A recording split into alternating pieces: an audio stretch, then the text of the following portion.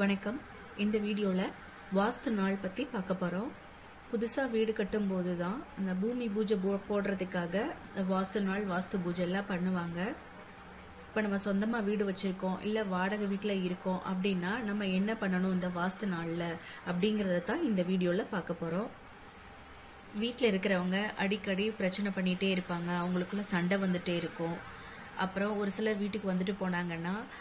வீடு ரொம்ப நல்லா இருக்கு அப்படின்னு சொல்லிட்டு அவங்கெல்லாம் வந்து பார்த்துட்டு போனால் கண்ணு வச்சிருவாங்களோ அப்படின்னு நான் நினைப்பேங்களே ஒரு சிலர் வந்துட்டு போனாலே பிரச்சனை வந்துடும்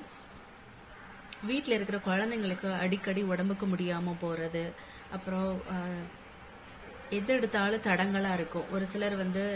எந்த வேலை ஆரம்பித்தாலும் சரி ஒன்று ஸ்டார்ட் பண்ண முடியாது இல்லை பாதியிலேயே நிப்பாட்டிடுவாங்க அந்த மாதிரி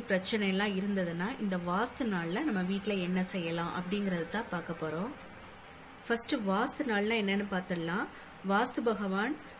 கண் விழிக்கிற நேரம் தான் வாஸ்து நாள்னு சொல்கிறாங்க அவர் ஒன்றரை மணி நேரம் தான் முழிச்சிருப்பாரா அதுவும் ஒரு வருஷத்துக்கு எட்டு நாள் தான் முழிச்சிருப்பாரு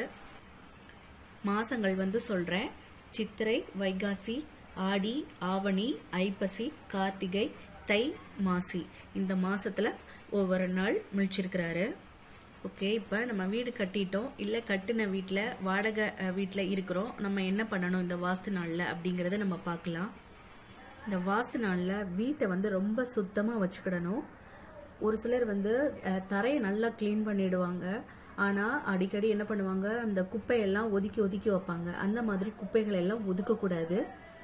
நம்ம எப்பயுமே நம்ம வீடை பெருக்கணும்னா அந்த குப்பையெல்லாம் எடுத்து டஸ்ட்பினில் போட்டுடணும் ஒதுக்கி வைக்கக்கூடாது காலையில் எடுத்துப்போம் இல்லை சாயந்தரமாக எடுப்போம் அப்புறமா எடுத்துக்குவோம் அப்படின்னு சொல்லிட்டு ஒதுக்கக்கூடாது நெக்ஸ்ட்டு வீட்டில் ஒட்டடை இருக்கவே கூடாது அடிக்கடி ஒட்டடை எடுத்துருங்க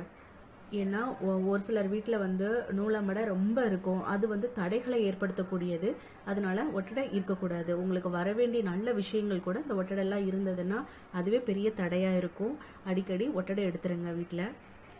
முக்கியமாக நில வாசல் இருக்கு இல்லையா நில வாசல் எங்க கதவு இதுகளெல்லாம் நல்லா அந்த வாசனால நல்லா சுத்தம் பண்ணிட்டு அதுக்கு மஞ்சள் குங்குமம் வச்சு பொட்டு வச்சு விட்டுருங்க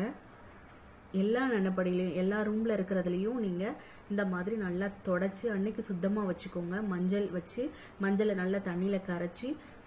அதை நல்லா நிலப்படியில் பூசி ஒரு குங்குமம் குங்குமத்தை வச்சு ஒரு பொட்டு வச்சு விட்டுருங்க பீரொல்லியும் அதே மாதிரி மஞ்சள் வச்சு குங்குமத்தை வச்சு பொட்டு வச்சு விட்டுருங்க நான் வந்து கிச்சன் மேடையில் மேலே நல்ல ஒரு ரவுண்டாக மஞ்சளை வச்சு பூசி அதுலேயும் ஒரு நாலு கார்னரில் நடுவுலையும் நான் குங்குமத்தை வச்சு பொட்டு வச்சு வச்சுருக்கேன் அது மாதிரி நீங்களும் ட்ரை பண்ணி பாருங்கள் பூஜைறையும் அன்னைக்கு சுத்தமாக வச்சுக்கிடணும் சாமி படங்களுக்கெல்லாம் நல்ல வாசனையான பூவை வச்சு நல்லா அலங்காரம் பண்ணுங்க இந்த வாஸ்து நாளில் பூஜரை நல்லா க்ளீன் பண்ணிவிட்டு ஏற்றி வைங்க சாம்பிராணி பத்தி எல்லாம் நல்ல வாசனை உள்ளதை ஏற்றி வைங்க சாமிக்கு நெய்வேத்தியம் பண்ணுறது வந்து இனிப்பாக இருந்தால் ரொம்ப நல்லாயிருக்கும் உங்களால் வே பொங்கல்லாம் வைக்க முடியல அப்படின்னா கல்கண்டாவது வைங்க இந்த வாஸ்து நாளில் வீட்டை நல்லா திருஷ்டி சுற்றி போடலாம் அதே மாதிரி வீட்டில் இருக்கிறவங்களுக்குமே திருஷ்டி சுற்றி போடலாம் ரொம்ப நல்லாயிருக்கும் அது வந்து சாம்பிராணி காட்டும்போது நீங்கள் வீட்டில் இருக்கிற எல்லா ரூம்லேயுமே சாம்பிராணி காட்டுங்க அந்த வாசனைக்கு வந்து வீட்டில் இருக்கிற நெகட்டிவ் எனர்ஜிஸ் எல்லாம் போயிடும்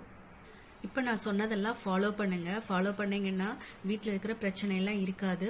வீட்டில் இருக்கிறவங்களும் பிரச்சனை பண்ண மாட்டாங்க குழந்தைங்களுக்கு கண் திருஷ்டியெல்லாம் இருக்காது தடைகள்லாம் நீங்கள் வீட்டில் தடைகள் இருந்ததுன்னா அந்த தடைகள் எல்லாம் நீங்கும் ஃபஸ்ட்டு இந்த தடைகளுக்கு காரணம் வீட்டில்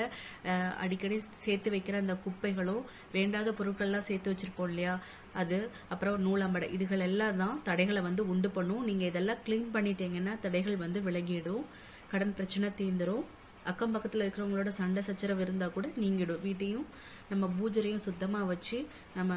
சாம்பிராணி புகையெல்லாம் போட்டோன்னா இந்த நெகட்டிவ் எனர்ஜிஸ் எல்லாம் வெளியில் போயிடும் அதுக்காக சொன்னேன் இதெல்லாம் நான் ஃபாலோ பண்ணிட்டு இருக்கிறேன் நல்லா இருக்கு நீங்க செஞ்சு பாருங்க உங்களுக்கு நல்லா இருந்தா ஃபாலோ பண்ணுங்க ஃபாஸ்ட் நாள் இந்த மாசம் ஜான்வரி டுவெண்ட்டி சிக்ஸ்த் வருது அதனால மிஸ் பண்ணிடாதீங்க வீட்டை கிளீன் பண்ணுங்க இந்த வீடியோ உங்களுக்கு யூஸ்ஃபுல்லாக இருந்தால் லைக் பண்ணுங்க ஷேர் பண்ணுங்க நெக்ஸ்ட் வீடியோவில் பார்க்கலாம்